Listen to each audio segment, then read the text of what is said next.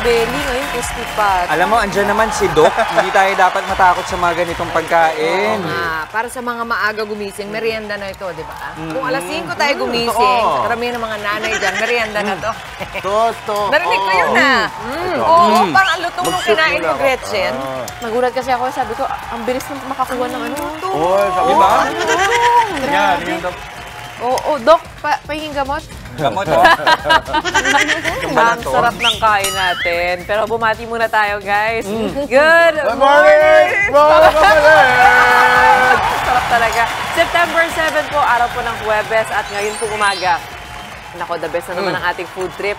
Very fiesta nga ang ating feels, lalo na itong uh, napakulutong na crispy pata. O, di Ang ba? sarap, ang sarap, ang sarap. Nako, Gretchen, tama ka dyan. Madalas, siyempre, kapag nakaluwag-luwag sa buhay, may budget, kasama palagi sa handaan yung crispy pata. Pero ito, alam niyo ba, Nung sinasabi, 1950s daw, noong unang naimbento o naisipang gawin etong recipe na ito. 1950s, oh, narinig ko rin yan, Jess, actually. Sa Caloocan nga raw, yun talagang nagsimula ayon sa ilang mga food historian, no? Pero itong nakahain sa atin ngayong umaga, Malabon Pride to. Oh, kaway-kaway. Mag- kapitbahay naman eh, kapitbahay. Malabon Caloocan at yan. Malabon. Ah, good morning mga kapatid Good mula morning. Malabon at Caloocan na rin. Oh, ito pinipicture na. Mm. Ang historic pala itong crispy Yung pata. crispy pata, ah. oo. Ito lahat itong mga nakakain natin ngayon bus- bukod sa crispy pata. Ito ay pamana na ng Mm. mga recipe ng original owners ng ating i-feature ngayong araw na to. 1966 pa nila itong prepare Mm. Kaya kilalang kilala na itong mga putahe na ito. Kaya naman tawagin na natin, no, ang bida ngayong morning, Yan. bukod sa crispy pata. Narito po ngayon si Adolf James Gamila, owner ng Mary J. Restaurant at ang kanilang head waiter na si Edwin Abad. Hello! Hi, James! Good morning. Hello, Good morning. Hi, good morning, kapatid! Kumakain ako ng crispy pata, medyo mahirap kumuha. Pero ito, ang lutong. Ano bang sikreto niyo dyan? Yun po kasi talagang inaano po namin, mini-maintain po namin yung ano niya, yung lutong niya po talaga. Pero kailan niyo po ito niluto? Usually kanina lang po. Mga ano oras? Let's say mga bago po kami unis, mga 5.30 po. Ay, Oh, Ito malutong yun, pala. Gretchen, bumiyahe pa yan from Malabon, papunta dito sa Mandaluyong. Traffic pa yan, pero Grabe malutong po. pa rin. Oo, si Edwin natuwa ako. Ano, 30, ilang years na kayo dito sa ano, sa restaurant? 1992 po ako, so mga 30 30 years plus po. Doon po Oh, ako mga sa- baby pa tong mga to. Nang Opo. nagtatrabaho Ito po, na kayo maliit pa lang po doon. yung boss ko. Oo nga, ito si James. Siyempre, 1966 pa yung restaurant ninyo. Ano yan, si lolo mo ba? Lola mo ang nagsimula nito? Bali, nag-start po to sa lola ko pa po. Oo, ang galing! Tapos ikaw na ngayon ang nagpapatakbo. Bali, ano po, um, family side po. Bali, kami po magkakapatid. Bali, hati-hati po yung department namin para maintain po lahat. Teka lang, uh, interesado ako. Paano nagsimula si Lola nun? Bali, Restaurant na ba agad o karinderya muna? Bali, Paano ba nagsimula bahay? po si lola ko as ano muna, coffee shop. Then lately, tinatangkilik siya sa Malabon hanggang mag-hire siya ng Chinese chef. Yun. Tapos hanggang po, yun, um, unti-unti na po siya. Na, Sa pagkain, lumala. anong specialty ni Lola? Sa pagkain po, ang specialty po ni Lola is yung ano po, yung, na- yung isa po is yung torta Ito. tangreho namin. Binanatang ko na yan. Ang Ang sarap-sarap. tawag dito, Sige, torta. try natin. Ah, Torta, alimango. tortang alimasag. Alimasag. Alimasag. Sarap. Naku, kung mahilig kayo sa alimasag, ibang, kakaibang pag-prepare yan, ano? Ano bang paborito? Ikaw nga matanong ko. Siyempre, ikaw, Edwin, ang ano, ang expert dito dahil 30 plus years. Anong pinaka-paborito mo sa mga handa ninyo? Alam niyo kung sa akin, kakaiba. Sa akin kasi yung soup talaga. Aba? Opo, kasi di ba pupunta tayo sa restaurant, Ay, crab and corn po. Tapos quail egg soup. Pero po ito, gustong gusto ko po ito. Ano po yan? Bole based soup. Uy, wala. base. Opo, ah, Oh, originated po, parang. France po siya eh. Galing po siya sa France. Ano po naman yun? Ah, bits po yan po ng hipon and then meron din po siyang ah, isda which is tanigi po. Pero sa ngayon po kasi medyo mahirap ang dagat, hindi po namin siya nilalagyan ng shell. Baka po may red tide or something. Ah, tama. Nakakasira. Ah, Ito naman, parang gusto ko lang ibalot. Yung Lumpiang lumpia. Shanghai, ano? Oo, ano yan Sa eh. mga specialty nyo rin ito, no? Yung lumpiang Shanghai. Yes po. Classic. Classic, classic. O nga pala, nakalimutan ko sabihin yung Maha Blanca. Ay, eto. Ay, pa oo. natin dessert. na- May dessert kagad tayo. Teka, matanong ko mga lang, kayo may ba yung may dugong Ah, ito, Chinese? ito. Ah, wala na. Wala, wala. Wala, Kasi sa, Ah, mga ito, Chinese ito. restaurant may ano eh. Pansit. meron din yung lumpia, di ba? Meron din yung bola-bola. Yan ang ano. Actually, si Mary J po, um, ang sineserve po namin pagkain is Chinese, Spanish, and Filipino food. Magkakahalot. Yes po. Sino ba si Mary Jane? Jane? Oo. Bali si Mary J po, yan po yung ano ho, anak po ni Lola. Si Mary, Mary Elizabeth. Si J po, si Jaime. Bali yun naman po yung father ko. Father mo si Jay. Ito, tingnan mo yan. na- Na-discover ko na. Tingnan mo. Ito, direct tingnan nyo yung soup, oh, yung sabaw. Tingnan yung isang cup. Ayan, oh. Ang Alam mo yung dami. ano, pagkain nila, malasang malasa. Ayun, punong-puno. Um, di ba pagka kumakain ka sa restaurant, eh, gusto mo yung, yung parang try mo. comfort food yung dating, na makakarami ka talaga. Para ka nasa bahay lang. Oo, kumakain. oo, tama, Comfort tama. Uy, tinikman ko yung maha nila ha.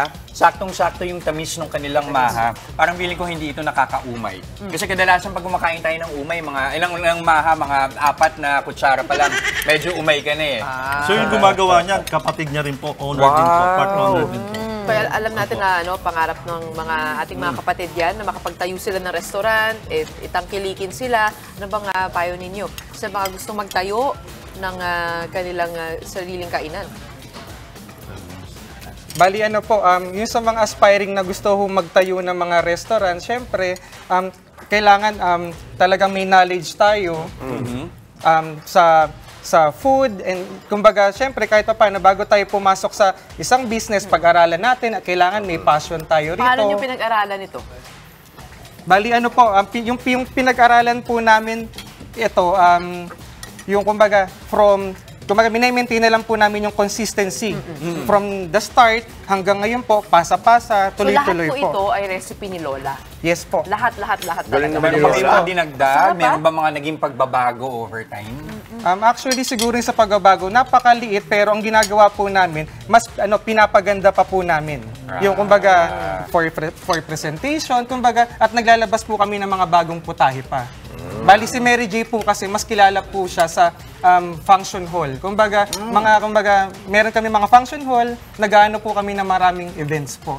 Ang maganda po kay Mary J, um, dahil sa sobrang tagal niya na nga po, bali nagsiserve na po kami for 57 years. Wow. May kwento Ganyan ko po, boss, no? Oo. Ah, Bali, minsan nga po, apo, apo na po yung ano, napagsilbihan ko. Kasi sabi niya, dito kami kinasal, and then nagkaanak na kami. May apo, opo, bali naalala pa po nila ako. Talaga? Opo, talaga po. Eh kayo bilang magkakamag-anak, di ba kayo nag-aaway-away? Ah, Family business Ganun din. ba pag family business? bali, siya po boss ko, ako po yung empleyado. Pero parang mag, magkamag-anak na Bakit po siya kami. na ang boss? Ah, Oo, siguro siya po, yun ang ang magiging future po. Ah, Ganun ganun. Pasa, pinasa nyo na to the next Hinahanda na, hinahanda. Yung sinisimbahan nyo dati, sa binyag pa lang nila, tapos biglang ikakasal na sila, kayo pa rin ang Opo. nandun. Hanggang Kayo ang anak, paborito hanggang talaga. apo, tuloy-tuloy po. Doon nag-birthday, doon nag, ano, nag-debut, doon kinasal, tapos hanggang ano po. Oh, ito naman ang tanong ko, continuous. eh, James. Para sa isang ano, ka- kasi yung mga nagtatrabaho din sa ah, sa mga restaurant, ano naman ang sekreto kung bakit na papadatili ninyo ang inyong mga employee na nasa inyong business at hindi umaalis katulad ni Ed? Yun pa rin po. Bali, nag-start to kay Lola. Ang ginawa pong pag-aalaga ng Lola ko sa mga tauhan namin, ang ginawa po, nagpatayo po kami ng apartment which na talagang nandyan sila, nag stay lang po hanggang yan, yan nga, sila hanggang anak nila, nandun na rin po sa amin. Tanungin natin si Edwin, payuhan mo yung mga business owners ko ano ang ah, hinahanap ninyong mga employees para talagang tumagal. Kasi yung nagpapahalaga po sa amin, tsaka talagang mabait po yung pamilya nila. Minsan po, ah, hindi lang po pamilya, ah, ah, empleyado turing na, nila sa amin, kundi talagang parang kamag-anak na po. Kasi nagbabanding din po kami. Tsaka binibigay din po yung karapat-dapat para po sa amin. Imbitahan naman natin ating mga kapatid, ano, pag gusto nilang magpa, magpa-cater sa inyo. Sa, Oo, saan ba paano kayo tatawag? makakontakt?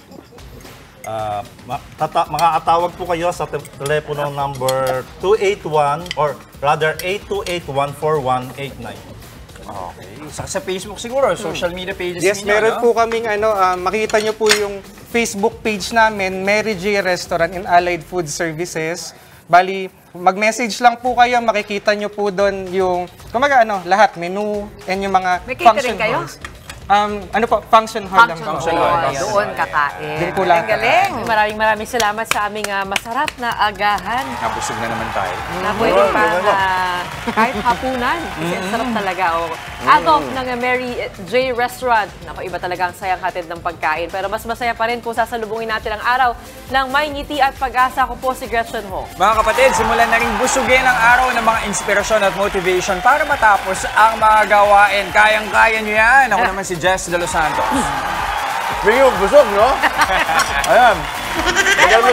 Magkalmasal na tayo, mga kapatid. Magkape um, para full of energy throughout the whole day. Ako naman po si Justin Quirino. At syempre po, mauna sa ating mga balita sa frontline sa umaga, mga maiinit na update sa ilang pangyayari sa loob at labas ng bansa. Ako po si Chiki Roa Puno. Kaya naman ang masayang bati namin sa inyo, mga ate, kuya, nanay, tatay, lolo at lola. Good morning, kapatid! Okay, nagsimula na nga yung ating um, parang buffet na to eh, no? Buffet breakfast yung dati yan ang ginawa natin. Eh, no?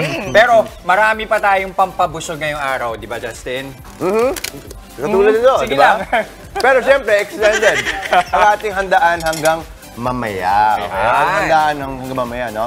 Titikman at ibibida pa natin ang ilang recipe, yung mga classic recipe ng patok na kainan sa Malabon, ang Mary J. Restaurant. Ito, yan. After mabusog ang ating faith, ano, manonood din sa ginawa ni Laila. Ito na, busog naman tayo. Sikmura ulit. Kanina, nakatikim na tayo ng crispy pata. Marami pang ibang binabalik-balik ng dish.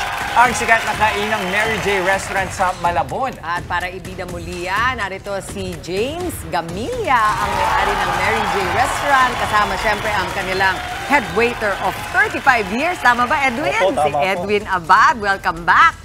James and Yan. Edwin. Alright. Good morning. Oo, so sabi nyo nga na yung ah, functions ninyo, yan ang pinakamalakas, no? Marami mga events. Anong, ano bang uri mga events ang pwede sa inyo? Wedding? Ano pa? Ano po, ang wedding, baptismal, business meetings, mga golden lahat po. Ay, kahit ano? Any, yes, any event po. Breakfast, lunch? An- ano po, um, breakfast is special occasion po siya. Yung branch ninyo, eh, ano, meron pa ba bukod sa Malabon? Sa ngayon po, um, tanging nga sa Malabon, nag-iisa po sa Nag-iisa. Malabon. Um, hoping in future po na ma-expand po na. Si Edwin, 35 years na nagtatrabaho kasama sa pamilya na to. Kaya bilang nga ikaw yung namamahala dito, ano yung sinisiguro mo sa araw-araw? Ah, sinisiguro ko po yung mga guests talaga eh welcome na welcome sa Mary J po. Siyempre yung mga pagkain po. Do head waiter po ako. Nag ah, ano rin po ako, nagsisecure din po ako ng mga lasa, pati po yung Yung kung okay po standard, yung kumbaga, standard po ng pagkain. rin. O halimbawa, ano kami, family of four, may dalawang bagets. Magkano yung dapat naming budget pag pupunta kami ng Mary J? Usually siguro mga 1,000. Pwede Ba, na. Pwede na na. po. Apat? Apat na yun? Opo. Apat na. Oo, pwede na. Opo, Ilang putahe na na po. yun? Siguro kahit mga tatlo meron na po Ah, yun. pwede na nga. Pero medyo mahal ng bigas ngayon, ano? Opo, medyo mahal. Hindi ba kayo magtataas? Nagtataas din ang presyo ninyo. Can afford pa rin po. Can po. Magkano na ba isang cup ng rice ngayon? Ah, 50 pesos na po. 50 pesos! Totoo Di ba? bale. Ayan. Pumunta kayo doon, hanapin niyo si Grabe, Edwin. mahal. Sabihin niyo, nakita niyo sa Good Morning Kapatid, magiging 30 pesos na lang yung Yeah! Ayan, eh. May Type nyo discount. lang GMK Yan. space Ah, off. Off. Yan. Galing, galing. Oh, promote na tayo. promote. Paano nila kayo makakokontak? Saan nila kayo pwedeng bisitahin ulit? Bali ano po, um, meron po kaming ano, Facebook page. Hanapin lang Mary J. Restaurant and Allied Food Services. Um, pwede nyo rin po kaming tawagan sa 028-281-4189. Yun ang Chinese, Spanish, Yes. at And saka Filipino. Ah, Filipino. Yung mga desserts nila. Magkakahalo yan. Pwede magpa-deliver. Mary J. Restaurant sa Malabon. Maraming maraming salamat. Thank you. James and Edwin. Maraming salamat, guys. Mga kapatid, Justin Quirino po. Masayang kwentuhan at makapulahang informasyon ang hatid namin tuwing umaga. Kaya mag-subscribe na at mag-follow sa social media pages ng News 5.